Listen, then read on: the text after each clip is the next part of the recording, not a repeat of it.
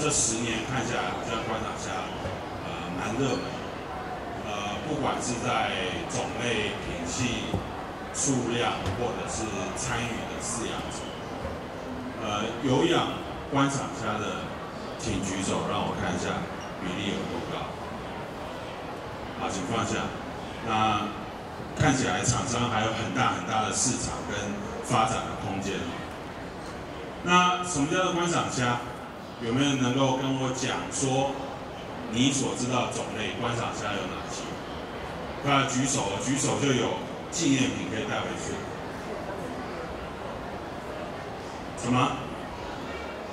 琉璃虾。琉璃虾，还有呢？你已经拿过了。玫瑰虾，拿拿过还有机会，但是我们先给别人。还有什么？五行虾。五行虾，哇，糟糕，你答了很多的答案。水晶虾。水晶虾。黄金米虾。巧克力虾。还有呢？花虾。樱花虾。他说樱花虾也算不是吃的吗？吃有吃的樱花虾，那在观赏虾里面，确实，呃，比如说玫瑰虾、吉火虾的前身，呃，有一段时间我们把它叫做樱花虾，但后来不叫做樱花虾的原因，就是因为就就都高。那如果再请各位回答下去的话，桌上那个很快就没了，因为你会发觉，就刚才各位谈论到的虾子之外，有很多包括了鳌虾。包括了藻虾，还有很多不同的品系。什么叫不同品系？刚才有位同行跟我讲说水晶虾，但是你会发觉水晶虾里面有黑白的，有红白的，有金刚的，有酒红的。然后这些不同的颜色或不同的图案之外，它还有呃禁止进入啦，甚至还有日之丸啊、花头啊、白须啊、魔术啦，一大堆讲不完。那这个代表什么？第一个代表市场很大，第二个代表的是潜力无穷。不管你是业者，或者是爱好者，不管你现在已经在家里面已经是一个虾房的规模了，或者是你打算今天看完之后再决定自己要养什么虾，我觉得这个都好。但是显而易见的话，你会发觉以往的观赏鱼。怎么在里面跑出了虾子？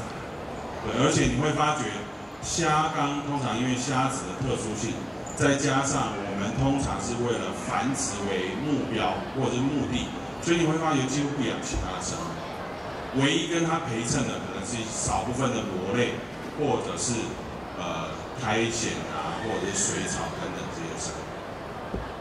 观赏虾为什么迷人？好，下一张。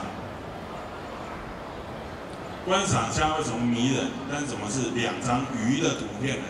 对不对？左边的是锦鲤，右边的很小，但是你隐约可以看出来它是金鱼。我们谈虾，为什么要谈鱼呢？呃，你要知道，锦鲤有几种？它就只有一种。你会讲说，睁眼说瞎话，明明就是很多种，这个叫做品系。这个叫品系，你如果品系下面再去分的话，养锦鲤人会跟你讲说，世界上找不到一只，找不到两只啊，一模一样的锦鲤，确实如此。就算是双胞胎，人类的，人类双胞胎，我们常常会搞混，但是还是不一样。那你要知道，一只的锦鲤在今天有了上百种的品系。有了上百种品系，有红白，有大正，有昭和，有贴分，有落叶石鱼，有孔雀，有葡萄衣，有白藓，叭一大堆。但是它就是一条鱼，它就是一种鱼而已。同样的，金鱼也是啊。金鱼是从我们吃的鲫鱼里面突变，在不断改良出来。但是他们今天都成为冷水性的观赏鱼里面最著名的代表。日本人在玩锦鲤，日本人在玩鲸鱼，泰国、马来西亚、台湾的爱好者也都在玩。很多人说这是华人在玩的观赏，但是你可能不知道，欧洲的荷兰比我们玩的还疯，以色列的产量比台湾还大，为什么？因为它是一个世界性的宠物或者是休闲娱乐场。好，如果你有这样的概念，我们刚才讲的那些不同品系或者是个体的水晶虾，它不是就是符合了这样子的一个的特色，或者是我们的期待吗？好，下一张。所以你可以看到，这个是一张图，但是这是一个呃国外的插画家画出来的。如果你今天是一个水晶虾的专业繁殖者，你一定会在里面举出很多的错误或者是不适当的地方。但是对于一般的爱好者而言，你可以看到这个虾子其实就是一种，但是它从一种或者是特定的几种里面延伸出来了什么？中间的这个叫做台湾币，就是台湾的蜜蜂虾。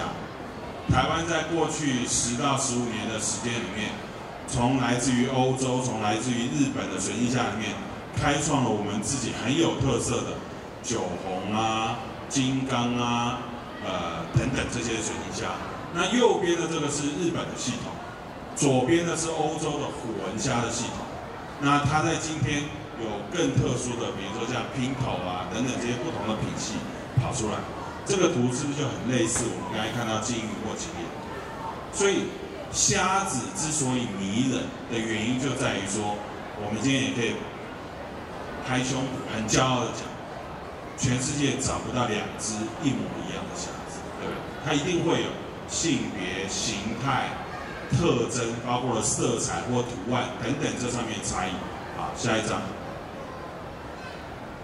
所以你可以看到，什么叫做观赏虾？很多人都认为很漂亮的就叫做观赏虾。确实如此啊！我们看观赏鱼，不就是这样子吗？颜色越鲜艳夺目的，体型越特殊的，甚至是数量越稀少、越罕见的，或者是符合我们，比如说在会场有展示的，也有比赛的龙鱼，它不就符合我们对于不只是休闲娱乐，呃，宠物饲养，甚至是什么？华人很重视风水。对所以我要有这样子的生物饲养在家里，满足我各式各样的需求。但是你会发觉哦，下面这一只，这个是产在印尼苏拉威西的一只小型的米虾，很漂亮。它称为观赏虾，当然当之无愧啊。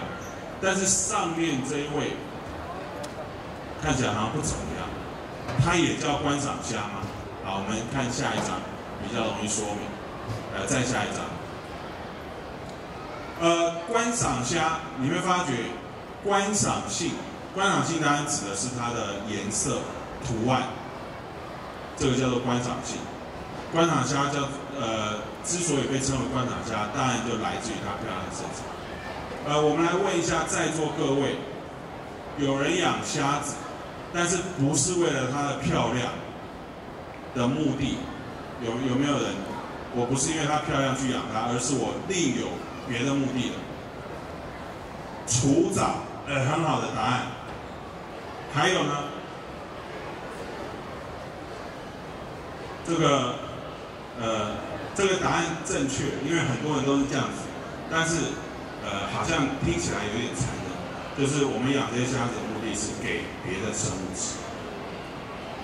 以前养短鲷的人都拿黑壳虾来喂，以前养埃及神仙的人都拿黑壳虾来喂，为什么？因为吃完就头好壮壮，甚至可以繁殖。但是你要叫他拿那些漂亮或特殊甚至昂贵的虾子，他们一定不愿意嘛，对那你养虾的目的是什么？因为你刚才举手，给自己吃。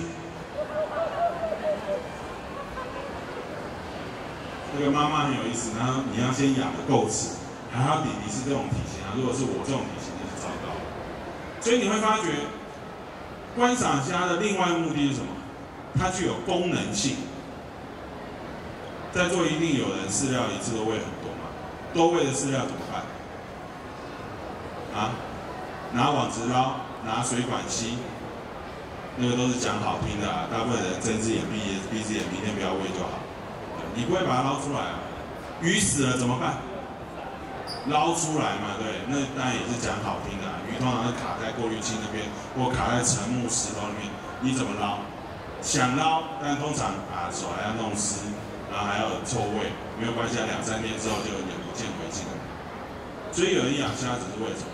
吃残饵，吃生物的尸体，甚至是控制水质。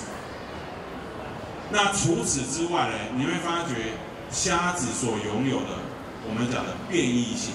什么叫变异性？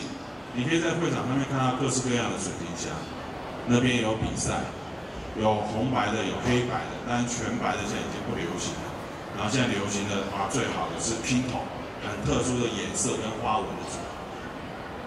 但这些东西你都可以借由繁养殖、培育、选态或者是育种。在你手里面诞生出来，所以你会发觉观赏虾之所以吸引人，也有一部分是因为这个原因，它的多变性或它的多样性。好，那我们回到上一章，所以你可以看到我们讲的观赏虾，其实绝大部分是指指什么？